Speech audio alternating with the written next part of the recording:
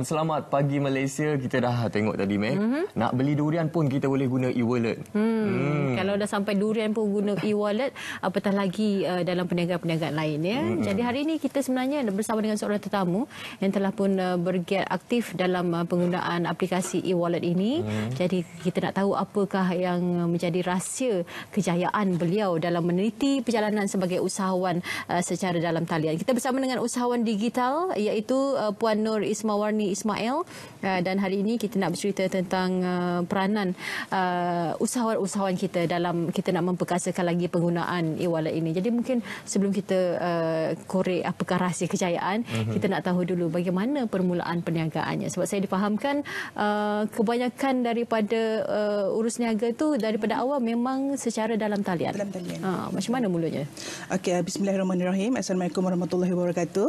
Uh, saya nak ucapkan terima kasih kepada RTM dan selamat pagi Malaysia jemput saya pada hari ini hmm. dan juga pertama sekali saya nak ucapkan jutaan tahniah kepada kabinet kita yang baru dibentuk hmm. uh, di bawah pimpinan Perdana Menteri kita yang yang ke-8 yang hmm. Berhormat uh, Tan Sri Muhyiddin Yassin lah ya. Hmm. Okey untuk soalan yang ditanya tadi itu macam mana kita nak berjaya dalam uh, bisnes dunia hmm. talian uh, berniaga dalam talian ni. Hmm. Okey bagi saya apa yang saya terapkan daripada awal lagi perniagaan saya ialah saya make sure uh, setiap produk yang saya hasilkan hmm. lain daripada yang lain. Yeah. Contoh macam kalau kita jual tudung, ramai orang jual tudung. Hmm. Tapi macam mana kita nak make sure uh, bila pembeli beli itu kenapa dia kena beli dengan kita yeah. so unik kena unik and then selain daripada itu kita kena ada team mm-hmm. bagi saya team sangat penting agent leader stokis kalau kita jual sendiri mungkin satu juta setahun mm-hmm. kita boleh dapat tapi kalau ada team berjuta-juta boleh dapat ha. so bagi saya dua faktor ni penting unik kita kena unik dan juga kita kena ada team untuk membantu kita membuat sales mm-hmm. hmm, betul tu kalau kita membuat uh, sekarang ni zaman sebercanggih mm-hmm. dunia di ujung jari kita betul. katakan nak shopping nak membeli belah pun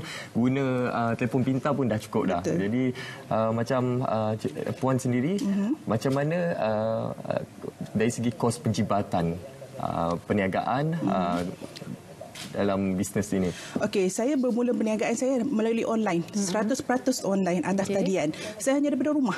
Saya mm-hmm. start daripada rumah, di ruang tamu macam ni. Mm-hmm. Saya berniaga tanpa perlu sewa bang, uh, bangunan, mm-hmm. tanpa perlu ambil staff, tanpa perlu uh, uh, dekor cantik-cantik. Mm-hmm. Saya hanya dekor saya punya perniagaan online sahaja. Mm-hmm. Uh, page saya and then uh, Facebook saya, IG mm-hmm. saya dan melalui situ customer boleh direct beli dengan kita dan pembayaran tu dibayar secara cepat. Urus niaga tu jadi cepat. Mm-hmm. So uh, sangat menjimatkan masa dan menjimatkan duit ha, kat hmm. situ.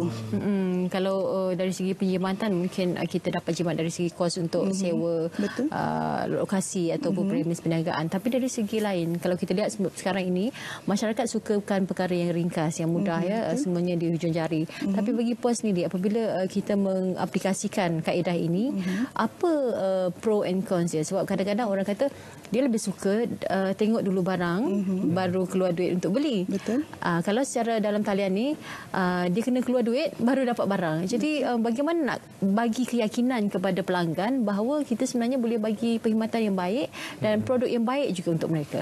Okey, sebagai seorang peniaga dari talian, hmm. memang kita perlukan uh, kepercayaan customer. Hmm. Sebab itulah bila kita melakukan perniagaan di atas talian ni kita kena ada banyak testimoni. Hmm. Testimoni maksudnya kita kena minta sentiasa dengan customer yang pernah beli dengan kita, hmm. kita minta, kita tanya pendapat dia, okey tak produk kita? Hmm. Puas hati ke tak mm-hmm. kita akan screenshotkan benda tu jadikan sebagai bukti mm-hmm. selain daripada itu juga um, word of mouth word of mouth ni maksudnya bila customer ni beli mm. dia akan cakap dekat customer lain customer lain akan percaya kita mm-hmm. selain daripada itu uh, segi segi uh, uh, marketing tools maksudnya kita ni kena sediakan pelbagai jenis maksudnya mm-hmm. bukan ambil gambar okey sale tak mm-hmm. kita kena buat video kita mm-hmm. kena buat tutorial bagi customer tu nampak yang produk kita ni berkualiti barulah mm-hmm. dia yakin nak membeli kat situ mm-hmm. uh. kita uh, untuk kita menuju ke arah negara maju, mm-hmm. kita nak menuju juga ke arah ekonomi digital. Ha, antara salah satu aspek dalam ekonomi digital ini ialah mengenai komuniti bebas tunai. Jadi macam mana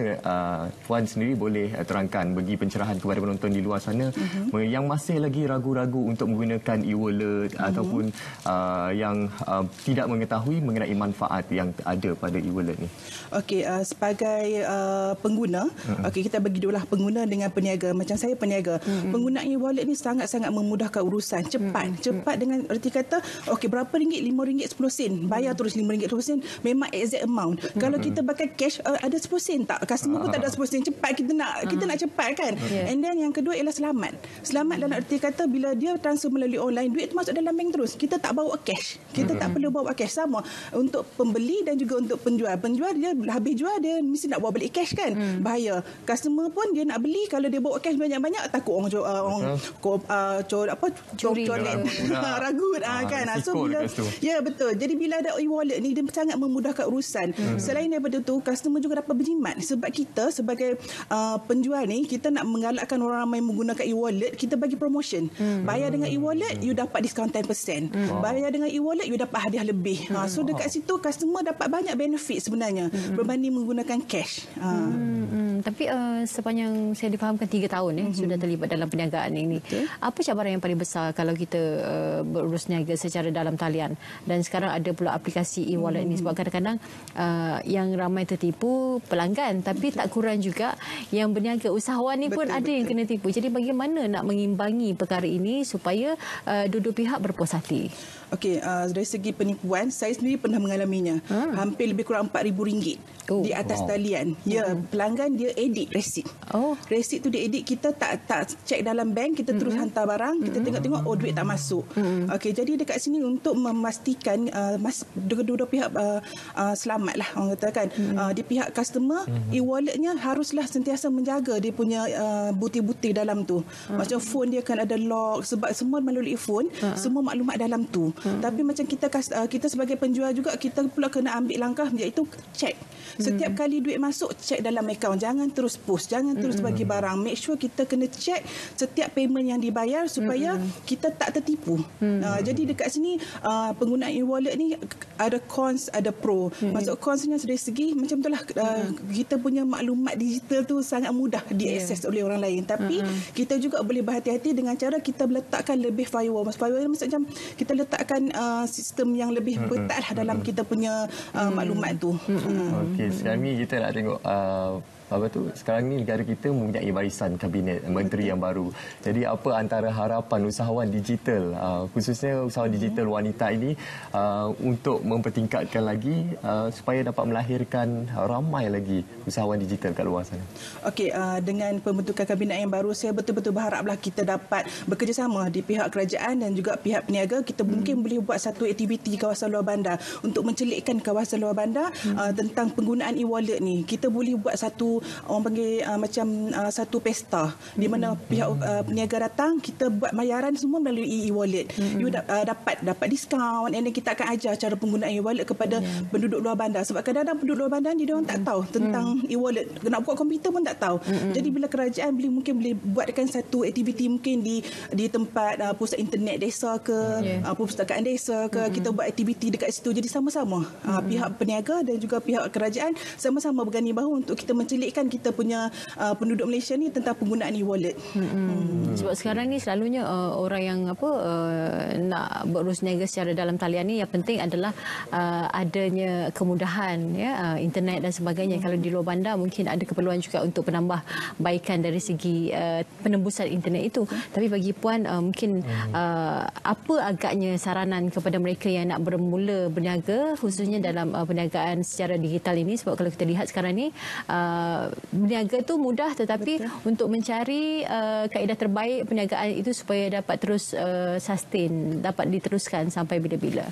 Okey, uh, bagi saya nasihat kepada orang uh, luar sana yang baru nak menceburkan diri dalam perniagaan online ni, mm-hmm. uh, yang pertama sekali kita kena macam saya cakap tadi unik. Mm-hmm. You kena jadi unik. You mm-hmm. kena ada brand. Kalau you tak brandkan brand produk pun brand diri sendiri. Yeah. Brandkan nama you supaya you jadi trusted seller. Mm-hmm. Bila orang tengok nama, oh Ismawani, Ismawani saya pernah beli kat dia. Ha, mm-hmm. Jadi orang percaya kat kita. Mm-hmm. Branding. Yang kedua you kena ada kena ada cikgu. Cikgu mm-hmm. ni maksudnya mentor mm-hmm. sebab kita baru nak berniaga, kita tak ada pengalaman. Jadi carilah mm-hmm. Orang-orang yang dah ada pengalaman, mm-hmm. berjumpalah dengan mereka, tak perlu bayar pun. Mm-hmm. Cari kawan-kawan yang pernah berniaga lama tanya pendapat dia orang. Mm-hmm. Uh, uh, jatuh bangun dia orang. Yeah. Jadi kita belajar daripada dia orang punya pengalaman, jadi kita boleh bantu benda tu untuk membantu kita untuk meng, uh, membuatkan bisnes kita tahan lebih lama. Mm-hmm. Uh-huh.